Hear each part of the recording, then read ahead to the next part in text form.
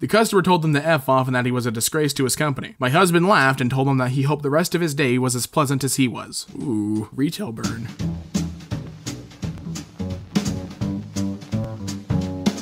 What's up everyone and welcome back to EmKay, the best Reddit readings north of the equator and today we're looking at r slash tales from retail. Being a retail worker myself, I'm ready to relate deeply to these stories. So it's an average weekday morning. I'm in the bag hiding away from the floor working on some repair I don't remember. The phone rings and I pick up and give my usual cheery greeting despite my state as a soulless husk that pines for death. Hello, thank you for calling blank, how may I help you? Yeah, I'm just calling to check up with my repair. I left it with you guys like a week ago and haven't heard anything. Okay, what name is the repair under, sir? Blankety blank, and it's a 2014 MacBook Pro 15 inch.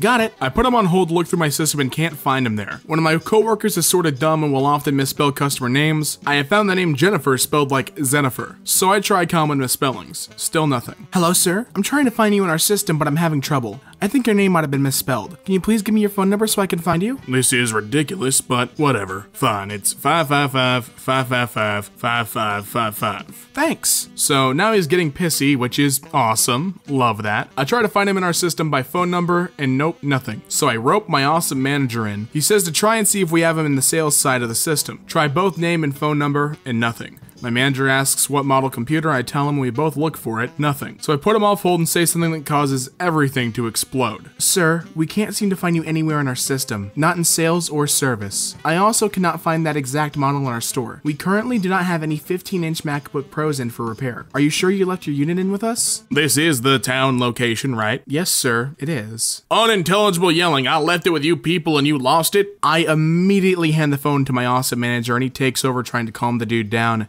He yells at my manager for a few more minutes and my manager asks him questions. What does the computer look like? It's covered in stickers which the guy who took it in commented on. Okay, what did the tech who took it in look like? He was tall, red dyed hair, nose ring, and tattoos. Sir, none of our techs here fit that description. More screeching. I swear to God, if you don't find my computer, I'm gonna call the cops and have you all arrested. So, now I get the idea that maybe he left it at another location or a similar store. I start calling around while he's still yelling at my boss and he's trying to calm him down. I call store we're friends with. I went to high school with the GM, who often refers customers to us if they can't help them. They answer and ask for the service manager there. Hey, name, got a weird question. Got a really mean customer by the name of Blank who's calling convinced he left his unit with us, but he can't find it. I know you got tats and a nose hoop, and that's the description he gave us, so. Yeah, I do.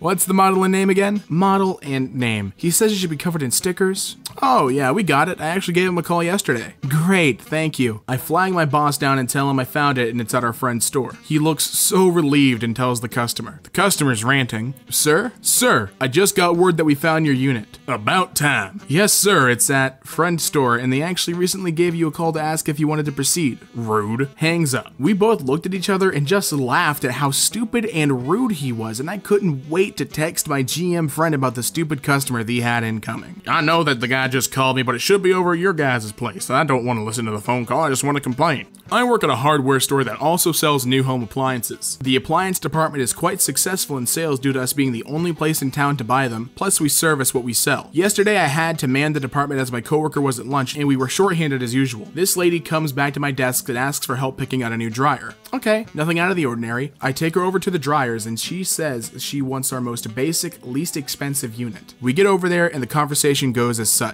CL, cheap lady, me, me. Do you have any other new dryers that are a lot cheaper than that? Again, this new unit here is the most basic, least expensive model we have. Do you have any sales or discounts going on? We don't have any sales going on, and we only discount appliances if you buy three or more at once, or if the unit has cosmetic damage from shipping. We have a used dryer for $249 if you would like. Is it in good shape? How old is it? It has been repaired to working order by our service department and is about 10 years old. I show her the used one, the paint is scratched quite a bit and the white plastic parts are yellowed, but the unit is perfectly functional.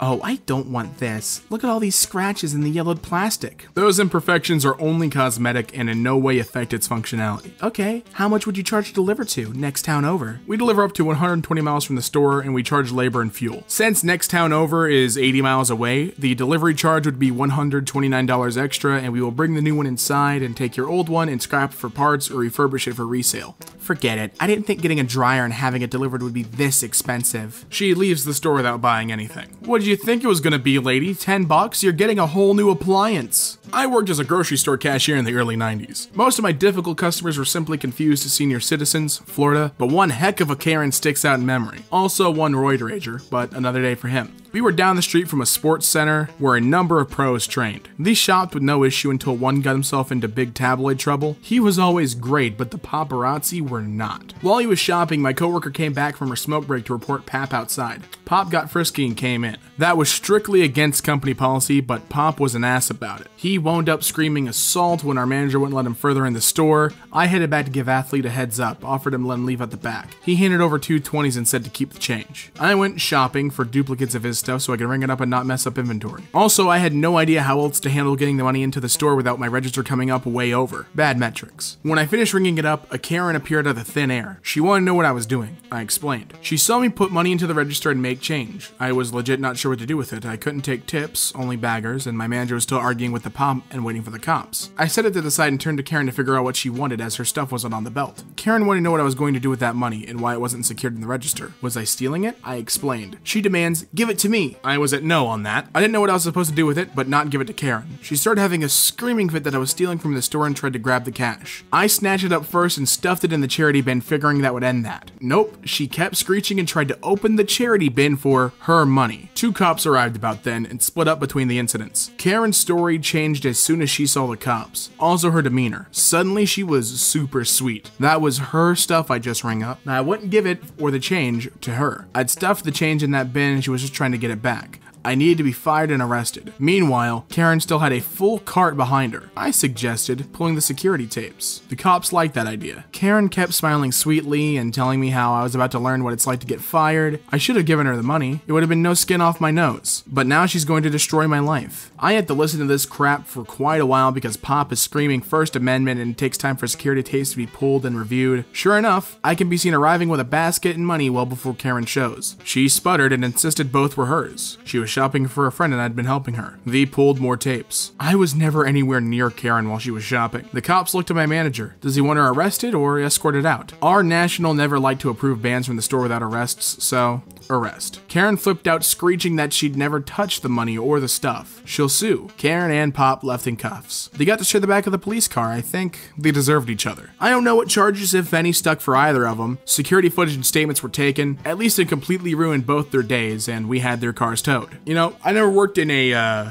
in a grocery store, but I just I, I, work at a gas station right now, and the amount of people who will come in and be you know th- this kind of demanding, I've never had that before. I want to know where these people work to get these horror stories, man. I work at a retail store a few years ago, and we had a special sale where customers donate to charity and get a 20% coupon for the whole day. Now, the point of the sale was to give money to local charities. 100% of the money donated went to charity. It was a $5 minimum, and the customer receives $5 off their first purchase plus a 20 20% coupon to use all day on anything in the store. So basically, the customer is not out on any money. They don't lose money by donating. So in walks this Karen. She comes up to my register and wants to purchase a dress and get the charity coupon. Okay. I will add the $5 donation. You will get that $5 taken off the price, and then I can apply the 20% to your total. No, I don't want to spend $5. I just want the 20%. Oh, you can only get the 20% when you donate $5 to charity, but you get the $5 off your purchase as well as the 20%. But I don't want to give money to charity. Well, that's the whole point of the sale. Well, that's $5 I could spend on myself. You aren't losing $5. You get the $5 off the dress plus the 20%. You get both discounts. Just give me the 20%. I can't do that unless you donate. This is ridiculous. Yeah, it is. Karen refuses to donate, so I sell the dress to her for regular price and she goes on her stupid way. I really don't understand why she was so hostile and refused to donate. I do know why some people are very picky about which charities they give money to, but we had the charities listed at every register and they were all local places and all the money stayed in the local area, so it wasn't like it was going to a CEO's jet or something. For a couple years, I did some occasional work for a family friend. He was part owner of a company that sold merchandise at soccer tournaments. The company had some pretty major contracts and literally literally would get its inventory directly from the brands, i.e., contact Nike with the product orders and hope they could fill it. This didn't prevent people from thinking we were selling knockoff or overpriced products, which does happen at smaller local tournaments. There we are selling at a boys tournament with about 80 teams from all over the country. The week prior was the girls tournament and with the same number of teams. I typically ran the smaller tent at the smaller venue but would end the night at the main tent if they were still open. It's pretty late, 8 to 9 p.m., usually about the time we start wrapping up, when this dad shows up with a Nike hoodie for us to heat press the event logo onto. The logos are to heat press on the non-event product we carry, but when we start running low on product, we give some leeway. The dad said something along the lines of, I knew those hoodies weren't worth 60 bucks, I got that at the outlet, it was only 30. The only things we wouldn't sell at MSRP were event product because those also included the price of being screen printed, and even then it was only an extra $5. While going to heat press it, I look at the tag and he was right. He got the hoodie for $30 and it was the same style, except it was a much lower quality material and you didn't even have to touch it to tell because it looked like lower quality material. Regardless, I heat press the logo onto the hoodie, fold it so the logo is facing up, and hand it back to him. He takes the hoodie and leaves thinking he outsmarted us, while a couple of other dads from his son's team apologize for his behavior. My husband works in cell phones. He's a manager. They had a customer come in and buy a new phone and had one of those phone cases with a wallet built into the back where he kept his driver's license slash credit cards, etc. My husband asked his employee who worked with him if she had seen it. She said she distinctly remembered putting it in the bag with his other things. Husband tells customer this, and this is what happened. See customer H husband. Well, your employee is wrong because it's not here. It must have gotten thrown away. We have a very loyal cleaning crew empties the trash every night, sir. They would have seen it if it had. There's just no way. It has to be there. It can literally not be anywhere else. Well, we have the dumpsters out back, so if it was in the trash, this is where it would be. So how long will it take you to dig in the dumpster to find it? You want me to dumpster dive for a phone case that wasn't thrown away? Yes, this is your responsibility. We share a dumpster with three food establishments and one hair salon. I will not be taking any of my time to dig through that. You can feel free, you know where we're located. The customer told them to F off and that he was a disgrace to his company. My husband laughed and told him that he hoped the rest of his day was as pleasant as he was. Ooh, retail burn. A certain type of bun is on sale. The Kelvin packs of 6 and 12, both are on sale, but only the 6 packs are in the flyer. Cranky old customer holds up a 12 pack of buns. Do you have any more of these as six packs? Me. Unfortunately, we do not. I pause as I sometimes have to stop and think about what I want to say next. To some people, this looks like I finished talking. Ha, what? They're in your flyer. This is false advertising. Blinking as I realize this customer is ridiculous, I could break up a 12 pack for you. Yes, do that. The store I work at uses an icing for cakes that is less sweet than other stores and can be quite popular with people. We don't actually sell it, but my manager is willing to sell it to people who ask nicely or need a whole case at cost. I have a small amount of authority and can do this as well within reason. Do you sell your icing? It's so good and I only need a little. Normally, no, but we do on occasion sell cases of it to people.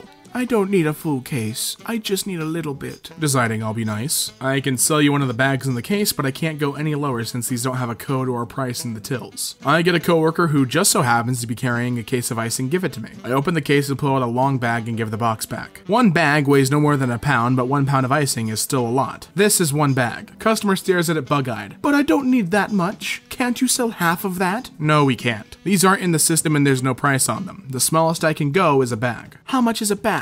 Well, let's see. A full case costs us $50, so one bag would be $25. Customer's eyes go big again. That much? Can't you give it for a better price? I'm sorry, but no, that is the lowest price that we can sell it for. I don't need that much though. Can't you just sell half of it? Well, is there someone higher up that can override you? I'm sorry, but no. This is literally the price we pay for this. We can't give sell it for less. I don't need that much though. Can't you just sell half of it? I'm getting a little annoyed. No, we can't. We aren't even supposed to be selling it at all. Isn't there someone higher up that I can talk to that can override you? No, there is no manager who will sell this lower since this is what we pay for it. Then I don't want it then. And the customer walks away. I turn to the coworker who had been eavesdropping close by and give back the bag. Do we look like a charity or something? Coworker laughs and gets back to work. This happened a bit early today, but hopefully worth the share. Smallish family owned hardware store. M, store manager, younger Hispanic guy 25 or so. O, son of the owner. R, random walk in. Hi, how's it going? I'm looking to speak with the manager. I'm the manager. What can I do for you? Don't lie to me. I asked to speak to the manager. I am the manager. Is there something I can help you with? Yeah, you can get me the manager like I effing asked you to. I am the manager. F you. Just get me the effing manager. I just want to apply for a job. The manager gets O's attention and help. Sir, is there a problem? Yeah, I asked M to talk to the manager so I could fill out a job application, but he keeps lying to me. How'd he lie to you, sir? He keeps telling me that he is the manager. He is the manager. So now you're going to lie to me too? F, man, I'm just looking for an effing job. We're not lying to you, sir, but you will need to look elsewhere for a job. What the F does that mean? I just want to fill out an application application. We're not interested in your application. You need to leave the store now. Five minutes of arguing between O and R before R leaves, still not comprehending why he wasn't given a job application. This happened a while ago, but I'm writing about it now because I saw the lady that this story revolves around and once again thanked my lucky stars I got promoted to another position. Back when I was a cashier, I worked really hard to remember all the codes for the produce and other items, especially our store brand water bottle packages, 35 count. Our brand plus another name brand had short 5 digit codes we could input instead of having to scan the entire package.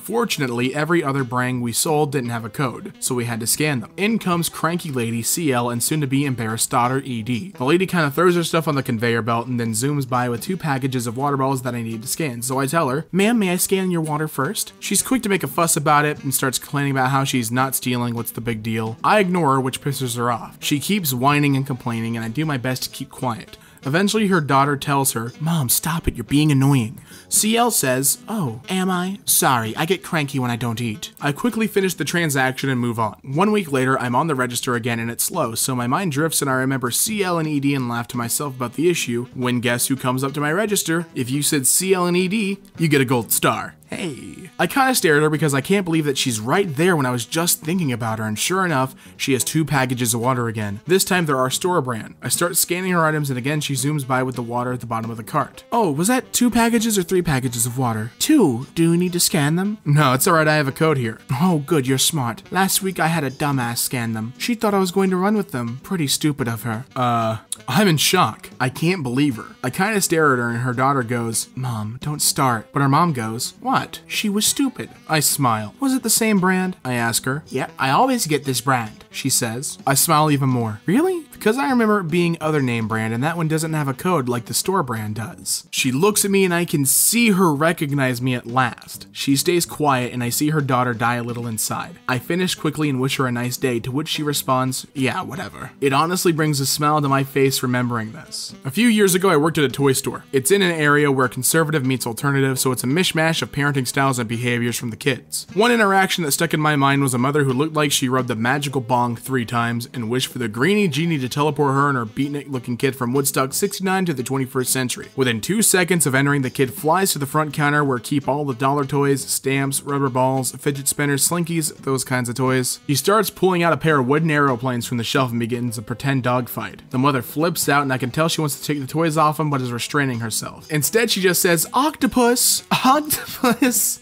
over and over again. It sounded like a command. At first, I assumed she named her kid Octopus. She was alternative after all. However, after she then said the name Snoopy, not real name. I realized the kid's name was not Octopus, but we also didn't have any aquatic animal toys where Snoopy was playing. The mother notices me watching from behind the register and she looks at me apologetically. I'm sorry, he keeps touching the toys when I told him he could look around only. I wasn't mad. Kids are kids and plenty of them go nuts when they enter a toy store. Oh, was he looking for an octopus toy? Snoopy stops playing, just looks up at me and the mother quickly hushes me and gets real close. I'm trying to raise my boy with positive words. The real word is negative, so I'm substituting it for octopus. What real word? She lowers her voice to a whisper. She is panicking that her answer might be overheard and undo five years of parenting and transform herself into a rebel that protects the establishment. 14th letter followed by 15th letter. It took me a bit to realize octopus was used instead of no. This kid is gonna have a weird time at the marine section in the zoo. What's happening? It's a huge Octopus! And just like that, that brings us to the end of r slash Tales from